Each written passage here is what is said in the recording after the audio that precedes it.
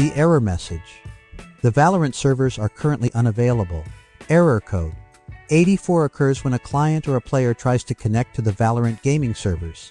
It usually indicates that the game servers are down or that the player has a connection error. This issue may prevent access to the online game or online matches, making it unplayable. This video will show you how to resolve the Valorant error code VAN84.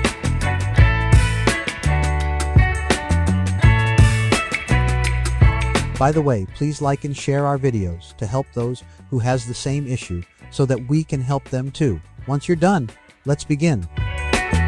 Fix 1. Restart the game. Usually, restarting the game is the first step in dealing with Valorant error code 84, as it can often resolve the issue. When a game is running, it consumes numerous system resources. As a result, it may become unstable or encounter errors over time. Restarting the game closes the application and removes whatever resources it was using, resolving any issues that may have been caused by the error codes. Fix 2. Restart your router. Restarting the router is a common method for fixing internet connection issues such as Valorant error code 84. The router connects your computer or gaming system to the internet and manages network traffic. Over time, the router may encounter problems or become unstable, resulting in connectivity errors. Fix 3. Check your internet connection. When trying to fix Valorant error code 84, it's important to check your internet connection because a poor internet connection can cause this error.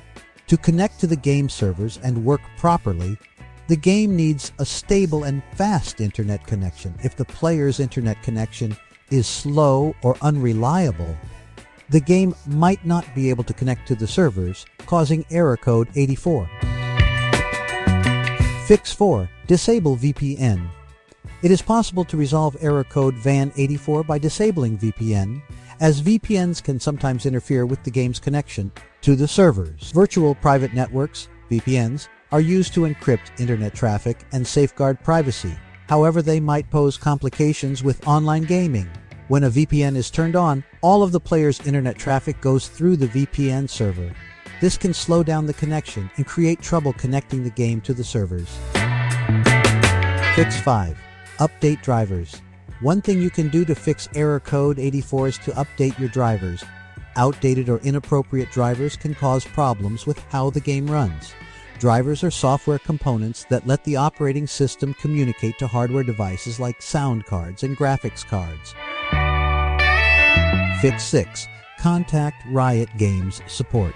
If you have tried everything else and are still unable to fix Valorant error code 84, you may contact support or go to the support page, who can assist in determining server outages, routine maintenance or scheduled maintenance, server issues and fixing other problems. The support team can offer more information and advice on resolving error code 84 because they are qualified to address technical difficulties with the game. That's it. If you think that this video is helpful, we would appreciate it. If you can leave a like or comment, subscribe to our channel or share it to your friends. This can greatly help in making Google's algorithm can find and recommend this to others.